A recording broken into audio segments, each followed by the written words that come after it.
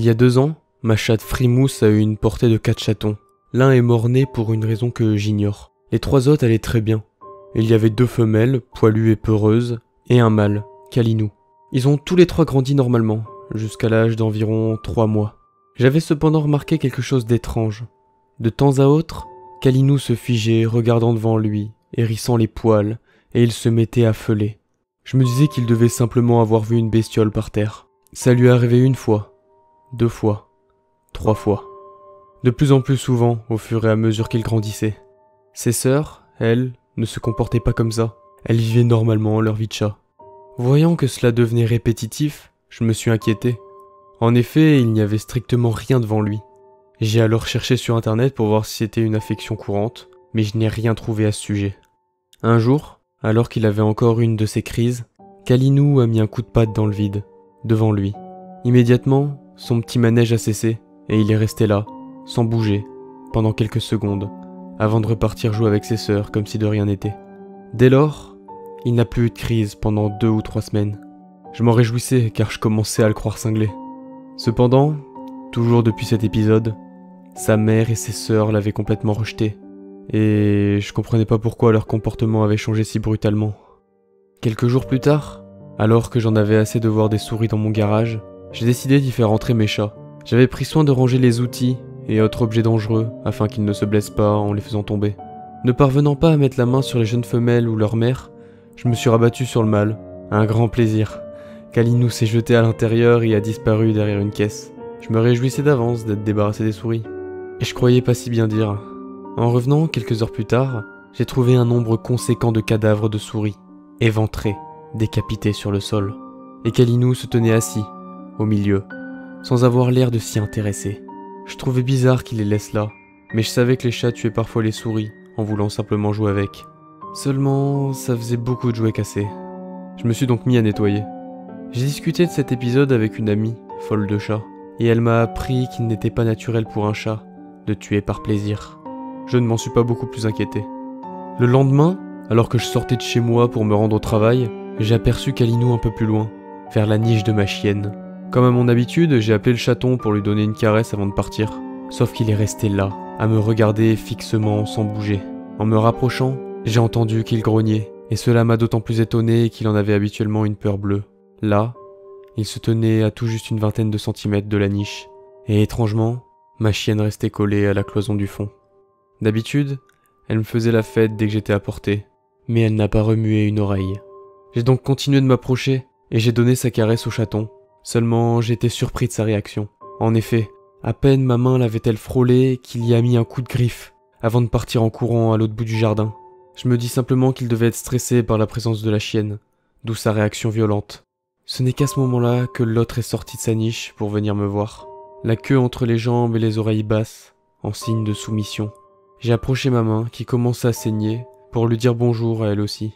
En réponse, ses babines ont frémi et elle s'est mise à grogner. Encore plus étrange, elle s'est frottée à mon autre main sans broncher. Je suis parti travailler, pensif. Cela faisait maintenant un moment que ma chienne avait peur du jeune mâle, alors que lui-même semblait de nouveau effrayé devant elle, et ne s'en approchait plus. Je n'essayais plus de comprendre. Un matin, en sortant de chez moi, j'ai senti une odeur nauséabonde venant d'un peu plus loin dans le jardin. Une odeur de charogne. En me rendant sur place, j'ai vu une quantité folle d'animaux morts, éventrés et décapités. L'image des souris m'est revenue en mémoire, mais là il s'agissait d'oiseaux, d'écureuils et de quelques-unes des poules du voisin. Seulement, à la différence de l'épisode avec les souris, Kalinou n'était pas là, et je me disais que, de toute façon, un chat ne causerait pas un tel carnage. Un renard peut-être? Mais je pouvais pas m'empêcher de repenser aux souris, tuées de la même façon. Quoi qu'il en soit, je comprenais pas ce que ces animaux faisaient là, dans mon jardin. Il m'a fallu un moment pour évacuer tous les corps. Et alors que j'avais presque fini, Kalinou a fait son apparition et est venu se frotter contre ma jambe en ronronnant. Ce signe d'affection m'a rassuré et mes doutes ont disparu. Pas pour longtemps. J'entendis un bruit derrière moi et eus à peine le temps de voir l'écureuil passer entre mes jambes, tout comme je ne vis pas le chaton se jeter dessus. J'ai été comme pétrifié en le voyant lui ouvrir les entrailles sauvagement. Ses poils noirs étaient collés par le sang sombre de l'animal, et il poussait des grognements rageurs à chaque fois qu'il arrachait un lambeau de chair, qu'il ne mangeait même pas. Sans que je trouve la force de bouger, je l'ai vu arracher la tête de l'animal, Kalinou s'est tourné vers moi, la tête sans vie dans la gueule, puis a disparu au loin. Lorsque j'ai pu de nouveau bouger, je n'en revenais toujours pas. C'était ce chaton adorable et câlin qui avait tué tous ces animaux. Et comme je venais d'en avoir la preuve, c'était par pur plaisir, par pure haine de la vie. Je suis alors rentré chez moi, traumatisé. Un jour, alors que mon inquiétude au sujet du jeune mâle atteignait son apogée, j'ai entendu des chats se battre dans la rue. Il y en avait beaucoup par chez moi, et je n'y prêtais plus attention. Mais je sais pas pourquoi, cette fois-ci, je me suis levé pour aller voir. J'avais à peine ouvert la porte qu'une odeur de charogne m'a de nouveau empli les narines. Réprimant un haut cœur, je suis allé dans la direction des bruits. J'ai cru que j'allais m'évanouir en voyant Peureuse, éventrée sur le sol, inerte. Kalinou et Poilu se battaient à côté, mais la femelle était couchée, sur le flanc, couverte de sang. De plus, en m'approchant, j'ai compris que l'odeur ne provenait pas de Peureuse, comme je l'avais d'abord cru, mais de Kalinou. Au même moment, Frimousse, leur mère, est arrivée comme une flèche et s'est jetée sur le mâle. Le temps que je reprenne mes esprits, ils avaient déjà commencé à se battre et le jeune mâle dominait. J'ai tout d'abord mis Poilu à l'écart en prenant soin de ne pas regarder le cadavre de sa sœur. Ça et l'odeur de mort faisaient beaucoup. Ensuite, j'ai voulu séparer Kalinou et sa mère, mais j'avais à peine avancé ma main qu'il s'est jeté dessus, plantant ses griffes et ses dents dans ma chair. Je suis parvenu tant bien que mal à le faire lâcher, mais je peinais à le maîtriser, bien que ce ne soit qu'un chaton. À côté de moi, Frimousse tenait à peine debout. Elle avait une patte ensanglantée et deux plaies béantes, une sur le flanc et une autre en travers du museau.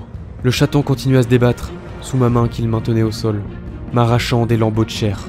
Finalement, je n'ai eu d'autre choix que de le frapper à mort, avec ma main valide. Du sang plein les mains, j'ai couru vers Poilu, en espérant qu'il ne soit pas trop tard. Malheureusement, elle avait succombé à ses blessures. Seule Frimousse est encore en vie aujourd'hui, mais elle a définitivement perdu l'usage de sa patte. Et moi, j'ai dû suivre plusieurs séances de rééducation, après l'opération de ma main déchiquetée. Bien évidemment, personne n'a cru à mon histoire, et je dois suivre un psychologue depuis ce triste épisode. Je commence même à penser que je me suis imaginé des choses, et que je deviens fou.